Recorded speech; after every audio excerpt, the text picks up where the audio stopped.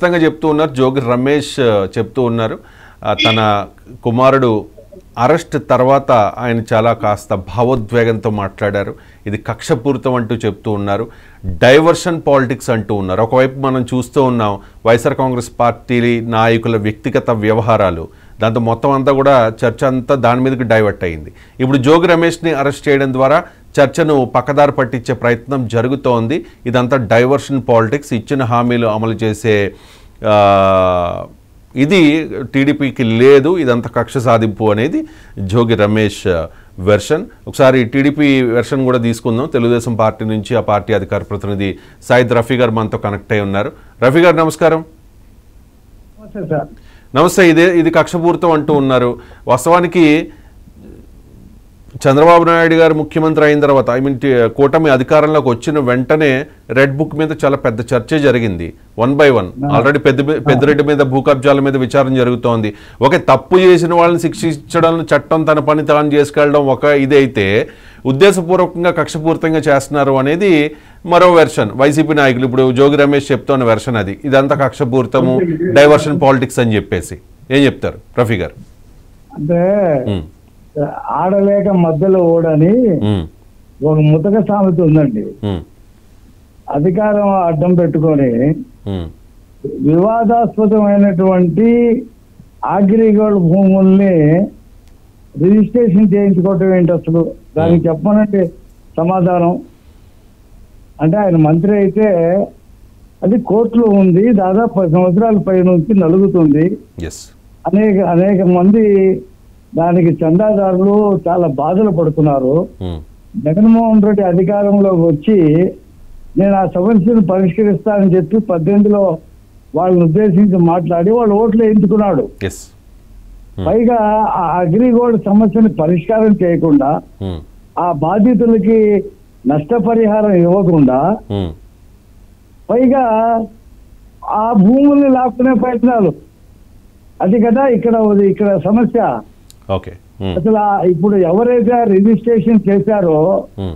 ఆ అధికారుల మీద కూడా చర్యలు తీసుకోవాలి ఏసీబీ. ఆ, ఆల్రెడీ వాళ్ళని ఇంక్లూడ్ చేశారు కదండి. ఏ. ఏ ఫైవ్ నుంచి ఏ నైన్ వరకు అధికారులే మొత్తం. అదే. ఉమ్, మొత్తం ఇప్పుడు వాళ్ళు దొరికిన కాడికి దొరికినట్టు దోచుకుందాం అనేటువంటి పద్ధతిలో ఐదు సంవత్సరాలు పనిచేశారు. ఒక్కొక్క కేసు బయటకు వస్తుంది బయటకు వస్తుంటే అందులో వాళ్ళ అబ్బాయి ఎవరైతే రాజు ఉన్నాడో ఆ రాజు అందులో ఏ గా ఉన్నాడు. అంటే అరెస్ట్ చేయవద్దా? ఓకే. అంటే జోగి రమేష్ చాలా తెలివిగా ఏం చేశారంటే రాజకీయ నాయకులు పెద్ద పెద్ద వాళ్ళందరూ కూడా బినాబిల్ని లేకపోతే కుటుంబ సభ్యుల్ని బంధువుల్ని వాళ్ళ పేరు మీద ఈ వ్యవహారాలన్నీ చేస్తూ ఉంటారు. కాబట్టి ఆయన పేరు మీద జరగలేదు ఐ థింక్.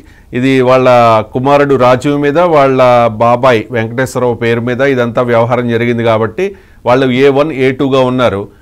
వాస్తవానికి రమేష్ పేరు మీద జోగి రమేష్ పేరు మీద జరిగి ఉన్నట్టయితే ఖచ్చితంగా మీరు అనుకున్నది జరిగేది. ఆయన్నే డైరెక్ట్గా అరెస్ట్ చేసే అవకాశం దక్కేది ఈ రోజున. అదిగా ఇప్పుడు ఇక్కడ ఇక్కడ పాయింట్ ఏంటంటే ఇప్పుడు వాళ్ళు ఏమనుకున్నారంటే ముప్పై సంవత్సరాల అధికారం మాదే మనం చట్టాన్ని పక్కన పెట్టేసి దేన్నైనా సరే ఆక్యుపై చేసుకోవచ్చు దేన్నైనా కబళించవచ్చు. ఉమ్, మనకేం కాదనేటువంటి పద్ధతిలో వ్యవహరించారు. రైట్. అది ఇప్పుడు ఎదురు తిరిగింది ఓకే. ఇప్పుడు జోగి రమేష్ మీద ఆల్రెడీ ఒక కేసు నమోదై ఉంది.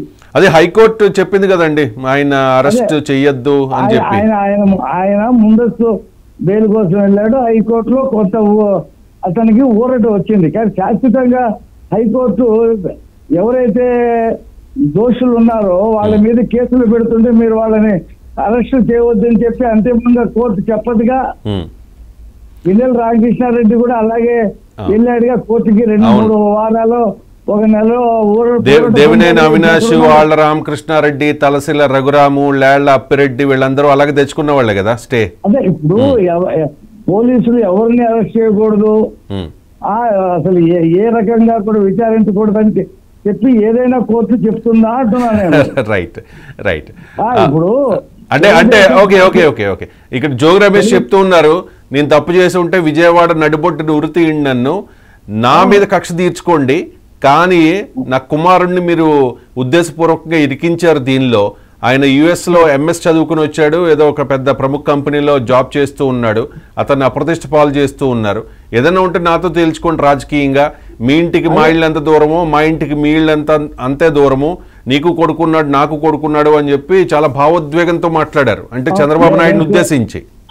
నేను చూశాను ఆయన వాళ్ళ అబ్బాయి ఎన్నికల్లో చేసినటువంటి అక్రమాలు ఆయన వాళ్ళ అబ్బాయి మాట్లాడే పెడంలో వాళ్ళ అబ్బాయి మాట్లాడిన మాటలు అన్ని కూడా విన్నాం మేము. ఓకే. అతను ఏదో అమెరికాలో లేడు. అమెరికా నుంచి ఇక్కడికి వచ్చాడు. తండ్రి అధికారాన్ని అడ్డం పెట్టుకుని అతను చేసిన అరాచకాలు పెడన ప్రజలు చూశారు. ఇవన్నీ కూడా ఎక్కడికి పబ్లిక్ డొమైన్లో ఉన్నాయి కాకపోతే ఏంటి అంటే ఏదైనా మాట్లాడొచ్చు. చంద్రబాబు అబ్బాయిలు లేరా? ఉమ్, నీకు అబ్బాయిలు లేరా? అని మరి ఆ రోజున నువ్వు నేను ప్రత్యక్ష సాక్షిని చంద్రబాబు గారి ఇంటి మీద వంద మంది వేసుకుని కర్రలతో వేసుకుని దాడి చేయడానికి వచ్చినప్పుడు ఇవన్నీ ఆయన కనిపించలా? మనం బటన్ నొక్కుతున్నాం. ఆ అమాయక ప్రజలు మనకు ఓట్లేస్తారు. ఆ ఓట్లేసి అధికారం మాటను మొత్తం రాష్ట్రాన్ని దోచేసుకుందాం అనేటువంటి ఒక దొంగల ముఠాగా ఐదు సంవత్సరాలు పరిపాలన చేశారు. కాబట్టి తెలుగుదేశం పార్టీ ఆఫీస్ మీద కూడా దాడి చేశారు. ఇప్పుడు. భారతదేశంలో. రాజకీయ ఒక రాజకీయ పార్టీ ఇంకొక రాజకీయ పార్టీ ఆఫీస్ మీద దాడి చేసి బీభత్సం సృష్టించినటువంటి సంఘటనలు మనం ఎప్పుడు చూడలా. రైట్ చాలా రేర్గా చూసాలండి మన రాష్ట్రంలో అంటే అరుదు కానీ చాలా రేర్గా చూస్తూ ఉన్నాం. కరెక్టే రాష్ట్రంలో నాకు నాకు తెలిసి సిపిఐ సిపిఐ ఆఫీస్ మీద కాంగ్రెస్ వాళ్ళు కాంగ్రెస్ ఆఫీస్ మీద సిపిఎం వాళ్ళు తెలుగుదేశం ఆఫీస్ మీద కాంగ్రెస్ పార్టీ గాంధీ భవన్ మీద తెలుగుదేశం పార్టీ దాడులు చేసుకున్నది రైట్ చెప్తున్నా. డైవర్ట్ అవుతున్నాం మనం. ఇంతకీ లోకేష్ రెడ్ బుక్ ఓపెన్ చేస్తాను అన్నారు ఎన్నికలకు ముందు. ఎన్నికలు అయిపోయిన తర్వాత ఆయన మంత్రిగా బాధ్యతలు చేపట్టిన తర్వాత ఆయన రెడ్ బుక్ గురించి నాకు తెలిసి లోకేష్ ఇప్పటి వరకు మాట్లాడలా. కొంతమంది ఆఫ్ ద రికార్డ్ మీలాంటి వాళ్ళు మాట్లాడడం తప్ప. లోకేష్ రెడ్ బుక్ ఓపెన్ చేయక ముందు జరుగుతోన్న అరెస్ట్లా ఇవి ఆల్రెడీ ఓపెన్ చేసిన జరుగుతో ఓపెన్ చేసిన తర్వాత జరుగుతోన్న అరెస్ట్లా? ఇప్పుడు అగ్రిగోల్డ్ వ్యవహారానికి రెడ్ బుక్ సంబంధం ఏముంది? అగ్రి గోల్డ్ భూములు ఆల్రెడీ కోర్టులో ఉన్నాయి. దాన్ని ఎలాగా రిజిస్ట్రేషన్ చేస్తారు? వీళ్ళు ఎలాగా దాన్ని ఆక్యుపై చేసుకుంటారు? రెడ్ బుక్తో సంబంధం ఏముంది? ఓకే అది కూడా అది కూడా ఇంక్లూడ్ చేశారేమో పెడన్ వెళ్ళినప్పుడు. లేకపోతే అగ్రిగోల్డ్ బాధితులతో మాట్లాడినప్పుడు. ఏమంటే రెడ్. బుక్లో ఏం రాశారంటే ఆయన పాదయాత్ర కుప్పంలో ప్రారంభించి విశాఖపట్నం వెళ్ళే లోపల ఏ అధికారి ఎక్కడ అక్రమంగా ఆయన మీద కేసులు పెట్టారు? ఆయన మాట్లాడనీయకుండా ఎక్కడ అడ్డుకున్నారు? ఆయన స్టూల్ మీద నుంచుంటే స్టూల్ కూడా లాక్కొని వెళ్ళిపోయారు. ఎవరు దాడులు చేస్తున్నా పట్టించుకోలేదు. ఈ విషయాలన్నీ మర్చిపోతారు అని చెప్పి రెడ్. బుక్లో రాసుకున్నాడు ఆయన. రైట్ అధికారుల పేర్లు మాత్రమే కాదు కదా. ముందు నాయకుల పేర్లు కూడా ఉన్నాయి కదా. ఉంటే ఎవరెవరైతే ఇప్పుడు తణుకులో పైనుండి రాళ్ళేసి పాదయాత్రని ఇబ్బందులు పెట్టారు. కానీ అక్కడ కేసు ఎవరి మీద పెట్టారు లోకేష్ గారికి సెక్యూరిటీగా ఉన్నటువంటి కార్యకర్తల మీద కేసులు పెట్టారు. ఆ పెట్టినటువంటి సిఐ ఎవరు అనేది ఆ, రాసుకున్నాడు ఆయన మర్చిపోకుండా ఉండడానికి. రైట్